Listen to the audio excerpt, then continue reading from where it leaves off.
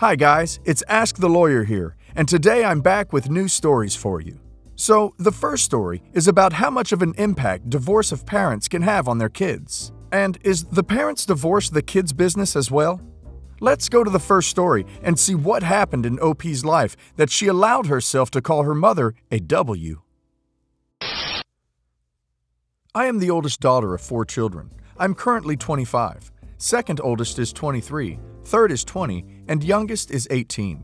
When I was 8 years old, my mom had an affair with a family friend. I, being the oldest, has remembered most of it, and my younger siblings only remember growing up with our parents co parenting. This has put a strain on my mother's and I's relationship. She cheated on my father, who was battling cancer. She didn't even try to keep it a secret from the kids. I remember during family friend gatherings when everyone would be inside and I'd see my mom and the family friend kissing or doing things in the pool. As a kid, I didn't understand, but as I got older, I realized what she was doing in front of us and I feel sick.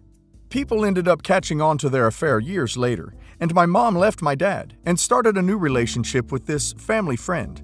They split up shortly after that because he cheated on my mother. I've confronted her about this after my dad passed, and we all went to see a family therapist. This was roughly three years ago. My mom has since remarried to an incredible man, but recently she was out and bumped into this man from her past. They exchanged emails, and she confided in me that they had been sending emails back and forth and are planning to meet up to chat and catch up. I read the messages, and it's very apparent that the guy still has feelings, while my mom is trying to make it seem like she's just catching up with an old coworker. But I know my mother, and I know she is still slightly infatuated with this man, and flattered that he still wants her. I mean, it's been years. Why else would you want to catch up? My new stepdad knows about her past, and while he doesn't agree with it, it's been years. He wasn't in her life yet. She asked me what I thought about her meeting up with him, and I said something along the lines of needing closure. She asked for my honest opinion about the matter, and I told her. To be honest, Mom, you dealing with this guy in the past ruined yours and Daddy's marriage, and you guys had four kids. I don't know why you think it wouldn't ruin this one, but why don't you stop being a W and stop thinking with your P and delete this guy's damn email? She cried, and she couldn't believe I just called her a W and left my house. We haven't spoken for a few days. Today, I got a call from my siblings saying I hurt my mom's feelings, and whatever happened between her and daddy's marriage was between them. I disagree. I had to witness my mom cheating on my father. I watched him die in bed while she was off to God knows where with this man. She asked for my opinion, and my opinion is that she's selfish and a W who left my dad to die on his own, and she wants to rekindle with this man and possibly cheat on my new stepdad. Sorry I'm not sorry for feeling some kind of way about it. Wow, that was brave, guys.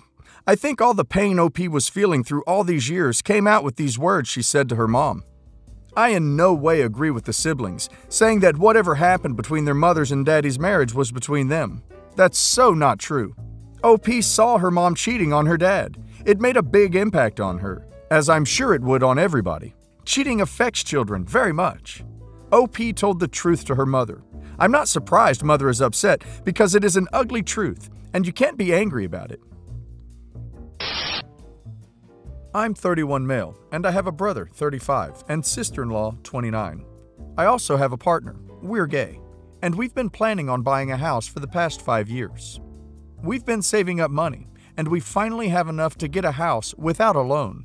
We didn't tell anyone about it all these years, but we started going on house tours and asking if people know someone who's selling a house, and it got back to our families. My brother and sister in law have been in a difficult financial situation for about two years, ever since they got married, and exactly because of it. I think they spent about 90,000 euros. It was a destination wedding, and they said they don't want any gifts, they just want people to show up, i.e., pay for their own plane tickets and stay at a hotel so they didn't get any money back from it. They're totally broke, and their fixed monthly expenses are making them poorer and poorer. Their bills are huge because their house is huge, their mortgage is huge, they have two cars, only one of which they need.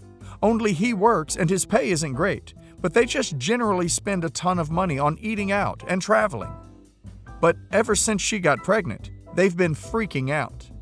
As soon as my parents found out about my savings, they told me I should give them to my brother. I said no. Then he talked to me and asked me to lend him a bit of money. I asked how much, and he said 50,000 euros, and I said no. I said I could lend him 5k for baby stuff, but not more than that. He got mad at me and trash talked me to our whole family, saying I won't help him out because I'm holding a grudge against him for his homophobic behavior towards me when we were younger. Which isn't the reason, and he's still homophobic. But that's beside the point. I told my parents I just can't lend him 50,000 euros after my partner and I spent five years saving to get our own place. We're incredibly close to getting it, and I won't put it off. For context, we saved up about 200,000 euros in five years, and not because we have super high paying jobs, but because we ate rice and never went anywhere. My parents think my boyfriend and I are selfish douchebags for putting a house before two babies. At the moment, nobody from my family is talking to us, except my sister in law, who sometimes calls me cries on the phone and begs me to forgive my brother for how he's treated me and refuses to accept I'm not doing this because of that. I told her I think they're irresponsible with money and that they don't need that much of it. And I keep offering her the 5K that she doesn't seem to want unless it's attached to another 45K. She keeps trying to convince me they'll use the money to pay off their mortgage and get a fresh start, but I'm not buying it. Even if she was honest, that would mean another year and a half of eating rice and not going anywhere for my boyfriend and me. And I don't want to do that anymore. Editing to add, she's pregnant with twins. I totally forgot to point that out, and I keep talking about two kids. Wow. Okay, guys. So, me personally, I wouldn't even give them 5K. For starters, it's just not OP's money. It belongs to him and his partner. Secondly, Giving him money would be enabling his crappy decisions. He needs to hit rock bottom. Lastly, why are these idiots having kids if they can't even afford their own lifestyles? Basically, a few years ago, my sister, 26, met my future brother in law, 25, and they began dating. The family all met him, and everyone loved him. He and I clicked and quickly became close friends hunting together. He'd help me with my car. I'd help him with projects in his garage, etc. Safe to say, we were great friends. Well, a little under two years ago, future brother in law cheats on my sister. She was devastated, obviously, and left his ass. For over four months, my parents and I helped comfort her and support her, but damn, she was a wreck. I love my sister and have never seen her so distraught. Obviously, the whole family found out why they broke up, and needless to say, everyone hated him. Our friendship ended the day they broke up, and I honestly thought I'd never see him again, and my sister would eventually find herself a good man. Well, that didn't ducking happen. A year ago, sister announces to the family that she and brother in law are back together, that they ran into each other and got to talking, and she's decided to reconcile. Parents are wary, but supportive, but I was disgusted. So now it's today, and brother in law has accompanied sister to every family event since then. It's been awkward to say the least. Everyone is nice enough to him, but it's clearly not as warm as it was back when they were first dating. For my part, I just ignore him whenever he's nearby and keep interaction with him to an absolute minimum. He's definitely been affected by it, and I can tell he wants to reconnect and make good, but I'm not entertaining it. Things come to a head last weekend when it was announced that sister and brother in law are engaged. They let us know at a family dinner for Father's Day, and everyone was excited. Everyone except me. I don't know how he's tricked her into this, but he's still the piece of crap who hurt my sister, and I'll never consider him family. But after they were done, he asked me if he could talk to me alone. He acknowledged the elephant in the room, that he's hurt sister and our family, but that he'd like to make amends and heal his relationship with us since our families were about to merge. I unloaded on him.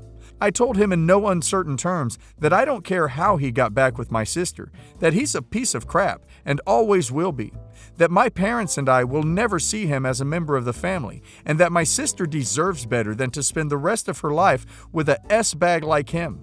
He didn't say anything just got real quiet and went back and rejoined the others. Today I get a call from my sister crying and cussing me out. Apparently, I had an impact because brother in law called off the wedding, saying he's not good enough for sis. True. That he loves her, but she should spend her life with someone who her family will accept, and that's not him.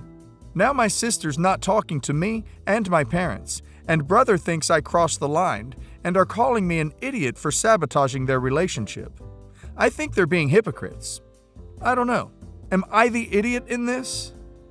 Edit 1. I shouldn't have spoken on behalf of my parents. I admit my fault there.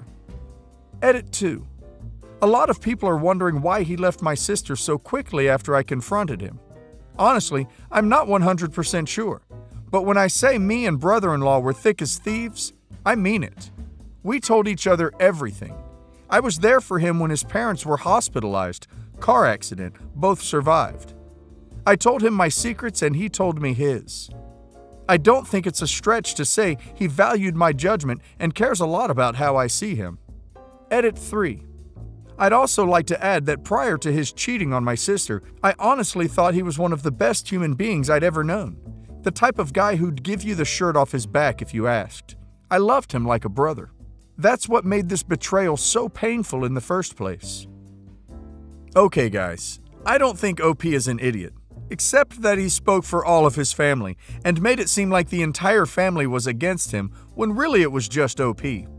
I can understand that OP feels like he was also betrayed by brother in law. Also, he saw his sister suffering. I also think brother in law gave up the wedding very easily. If I want to be with a person, I would try my best to make it work, especially when OP's sister forgave him. What do you think, guys? I moved into a new apartment building about a month ago. It's a doorman building, and most of the doormen are really nice. I always say a pleasant, Hi, how are you? Have a nice day, evening, to them when I leave or enter the building, but I don't stop to chat with them as I have seen some of the other residents do. One of the doormen, whose shifts coincide with my coming home from work, has a habit of trying to strike up a conversation with me as I'm almost out of the lobby and heading down the hallway to the elevator. Like, he'll shout out a question to me or comment about the weather or something. I usually, pleasantly, shout back an answer and keep walking to the elevator, as I'm always exhausted after work and I just want to go to my apartment and relax. The other day, he shouted out to me, Come here, Miss Pretentious. So this time, I turned around and walked over to the front desk and said politely, What did you call me? He then proceeds to say I'm pretentious, and obviously think I'm better than everyone else in the building because I won't stop to talk to him or the other doorman. His tone wasn't angry or mean, really, just kind of jokey but in a condescending way. I politely explained that it's not because I think I'm better than everyone, but that I'm just really tired after work and want to go home. I also said I find it weird that he always tries to talk to me as I'm almost out of the lobby, thereby necessitating me turning around and walking back into the lobby in order to have a conversation, if I wanted to. He ended by saying that I won't fit in with the culture of the building if I keep on refusing to talk with the doorman. I told him, again politely, that I wasn't really interested in fitting in with the culture of the building and told him to have a good night and then I walked away. Since then, I have seen this doorman twice, and both times he has greeted me with, Hello, Miss Pretentious. Same jokey, condescending tone. As I walk into the building, I have completely ignored him both times. I feel like I should probably talk to him and tell him I don't appreciate being called that. But honestly, I just want to report him to a supervisor, as I'm getting sick of dreading walking into the building, and I feel like I shouldn't have to deal with that in my own home. Okay, building. So, will I be the idiot if I just go ahead and report him? I don't want to get him fired or anything, but I do want him to stop. Guys, I'm sure his job description doesn't include judging or insulting the tenants. I don't think that OP will be the idiot if she reports him. I so understand her, that she is tired and doesn't have time for chatting with the doorman. And it doesn't mean she thinks she's better than everybody else. And she doesn't need to be explaining herself, why she can't or doesn't want to be chatting with him. Doorman just rude. I have never had a good relationship with my in laws, and they have never liked me since day one. They were rather supportive during the pregnancy, as this is their first grandchild. I've only put up with them because my husband is close with them and always will be. The first day of me being in labor, my in laws came by. We didn't want them in the room while I delivered. He broke the news to them, and he said it went well. It was his mother, father, and his two brothers, 11 and 16. My mother was still driving up during this time. It was okay for a while, but my father in law and brother in laws started asking really inappropriate questions. Things about my parenting skills, my weight, and my V. Eventually, the nurse told them they had to leave because they were being loud and were disturbing other people. They left, upset, but would be back after the baby was born. About 10 hours later, my mother arrived, and I was about ready to push. My husband told me he didn't think it was fair his parents weren't going to be there and wouldn't let up on it. Finally, I told him fine, because it was their grandchild too, and I did feel bad about my mother in law not being there, because I actually did like her. She just has no control over her sons or her husband. Mother in law and father in law showed up around the time I started pushing. Five minutes in, I heard father in law giggling, and I snapped and told mother in law and father in law to get the duck out and don't ducking come back until visiting hours. I heard a lot of commotion, but my mother was just keeping me focused on pushing. Eventually, everything was done, and I had a beautiful boy. And my husband and I just enjoyed our brand new baby and finally got some sleep. The next day, my family and our close friends came, but none of his family did. He was upset for sure. Around 12 p.m., texts started rolling in from his extended family about how it was horrible what I did, and they would not be coming to see us or our baby. My husband was horribly upset. His brother, 22, who is in Japan with the Air Force, he is a year apart from, and they have a very close relationship, told him he was cutting contact with him over this, and so was his mother, father, and other brothers. My husband is devastated. It's 3 a.m. now, and he left and told me he'd be back tomorrow to come pick us up. My husband keeps saying, How could I tear this family apart like this? And his father laughs like that when he cries because he was so happy to have his first grandchild. I feel so horrible about it now, and I didn't mean to cause all this.